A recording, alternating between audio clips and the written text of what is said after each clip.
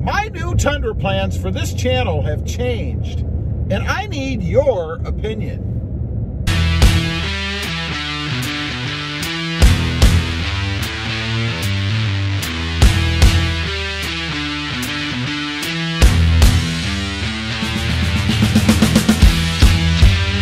Well, good morning, everybody, and welcome back to Rob Motive FST. And that's right, I think my uh, my new Tundra plans for this channel have changed a bit, and I would like your opinion. I want to know what you honestly think. But first, let me tell you what, what I'm talking about. You know, when I first started this channel, I did it with the full intent of purchasing the 2022 Toyota Tundra.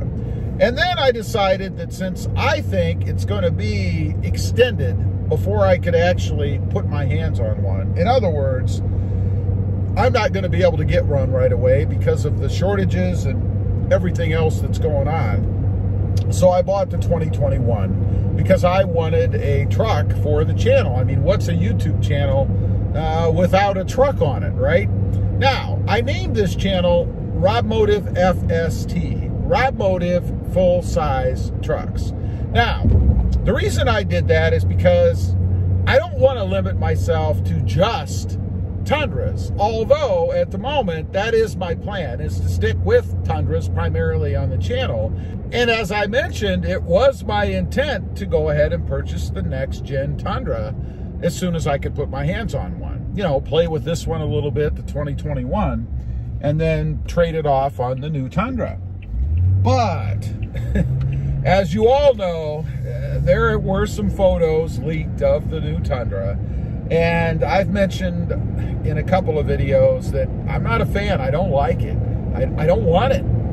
And, you know, as I've gotten back into the Tundra again, uh, particularly this one, the 2021, I got to say, I really like it. Uh, I'm starting to doubt whether I would want to get rid of it. And even before the new Tundra was revealed, I was kind of thinking, well, maybe I'll just keep this one and have both, you know, and kind of compare and contrast them on the channel. But, you know, that's really been uh, squelched, I guess, since the reveal or the, the leak of this new Tundra, both interior and exterior. There's honestly just nothing I like about the truck. So unless the real version comes out, or there is a different version that comes out, and Toyota has just been bird almost flew right into my truck, one of those seagulls. That would have been bad. But unless the, you know, a real version, a different version comes out and it's completely different, it looks better, both interior and exterior, um, I'm thinking it's it's not something that I'm going to jump on, and I just keep the one that I have, continue doing mods and things to it, more uh, in-depth mods, more um, impactful mods, I guess, like a lift and new wheels and tires and suspension and, you know, things that I may not have done if I was just going to trade this truck in because most of the mods I've done so far are easily removed from this truck and then hopefully used on the next gen. That was my thinking.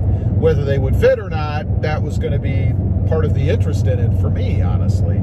So, what does that mean then? What does it mean for the channel? Well, it doesn't change things a whole lot.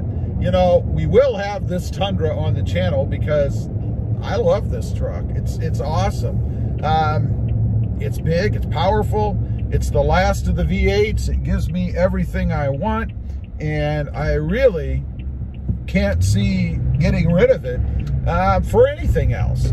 But this is Rob Motive FST, full-size trucks. So, my thinking is, is next year, it'll, it'll be a while. This isn't anything I'm going to do, at least not this year. Um, I would add something else. Something else that I can compare to the truck since Toyota seems to have let us down on the, the next gen. And that would be something a little, probably, maybe even higher end. I haven't decided yet. What I'm thinking, on the low end, let's start with the low end. I could pick up a new F-150. I know, I said it, an F-150, right? And kind of compare and contrast that to this truck the 2021 Toyota Tundra. I think that might be kind of interesting to see what the differences are. Or and this is what I'm I'm really more leaning to, to be honest. Um, pick up a Ford Raptor. Um, I like the Raptor. It uh, supposedly it's an awesome truck. I don't know. I've never had one, but it would be kind of cool. And this is a full size truck channel um, to be able to see what that's like. And again, in comparison to this Tundra, I mean, is the Raptor really more powerful? Is it worth the money?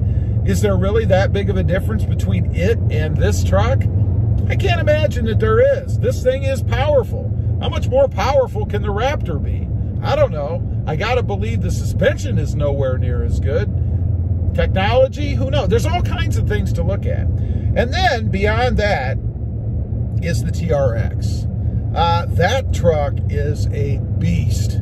I, uh, I kind of put it in one video a little while back when I was at the dealership, um, having looking around rather at uh, at some of the trucks that they had, and man, I got to tell you, at least looks wise, that is a very impressive truck.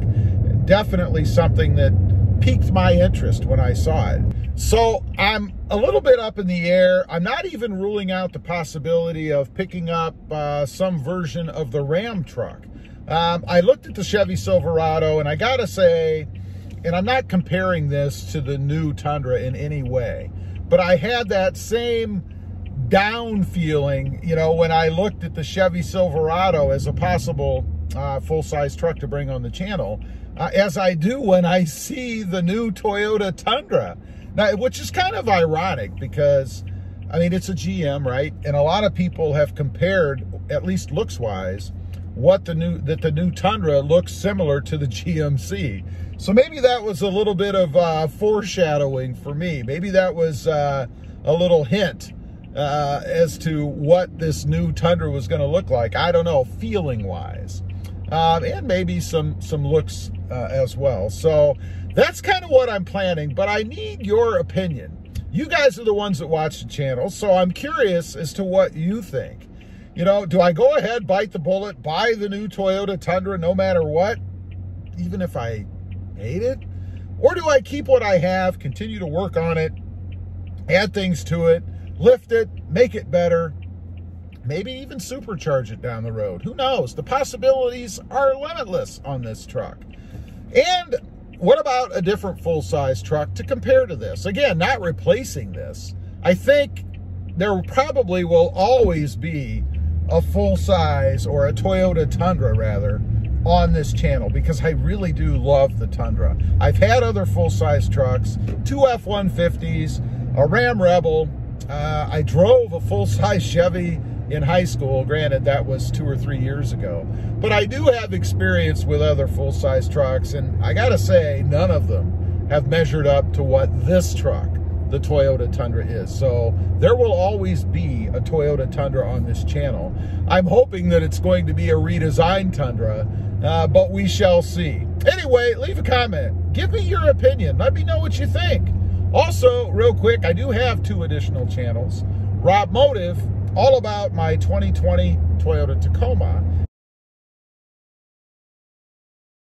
And Rob Motive JT, all about my 2020 Jeep Gladiator. Check them out, and if you're interested, please consider subscribing. Don't forget to click that notification bell so that you don't miss out on any upcoming videos. And do me a favor, smash that subscribe button on the way out. Thanks for watching. Stay curious out there. Bye.